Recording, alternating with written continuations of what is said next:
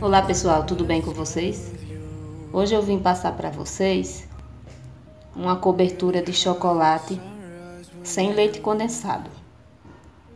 Um dia eu estava em casa querendo fazer uma cobertura para um bolo e não tinha leite condensado. E de repente eu inventei essa moda, vamos dizer assim, né? Inventei esse, esse, essa cobertura. Vamos lá?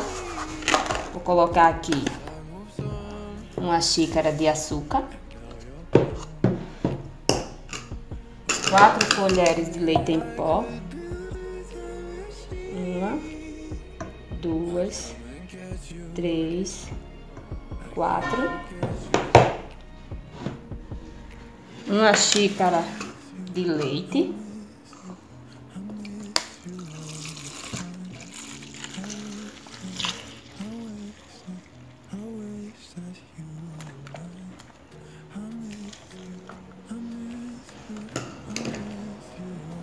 4 colheres de chocolate 50%.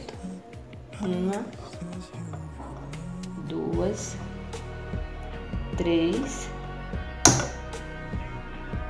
e quatro.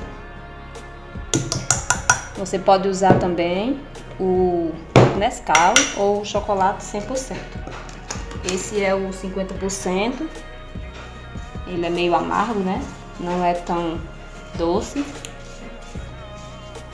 O Nescau é bem mais doce, você pode diminuir o açúcar.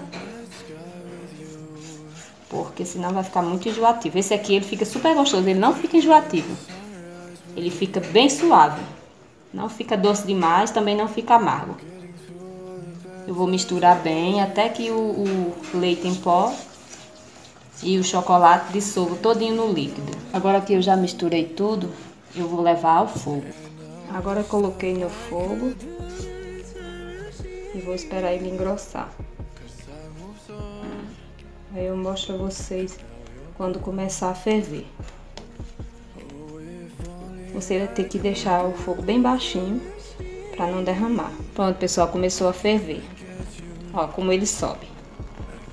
Se você tiver com fogo alto, ele pode até derramar. Você não pode parar de mexer. Se ele subir muito, aí você tem que desligar o fogo para ele descer e ligar de novo baixinho para ele não derramar. Ele demora um pouco para ficar no ponto.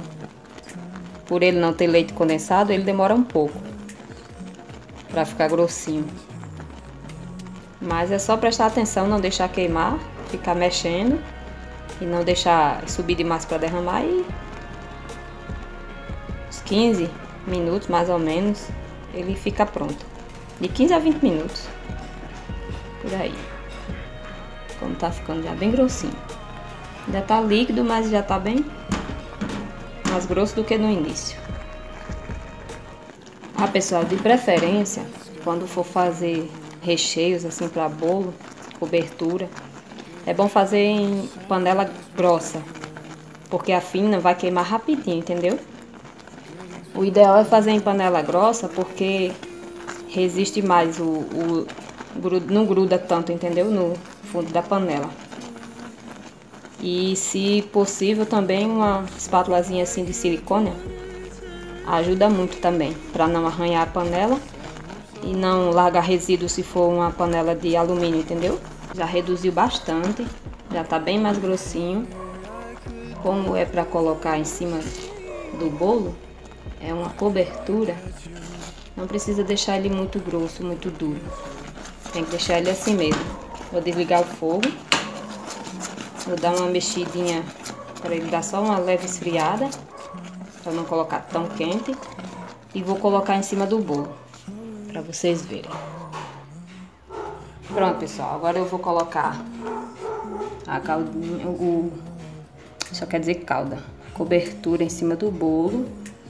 Esse é um bolo de cenoura que eu vou deixar o link aí na descrição do vídeo para vocês fazerem, que esse bolo é maravilhoso. É uma delícia.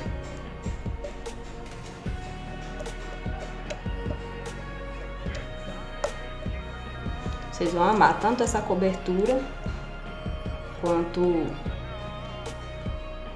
a massa desse bolo. Bolo de cenoura amanteigado. Jet planes in the night sky with you. Getting high in the sunrise with you. Getting through all the bad times.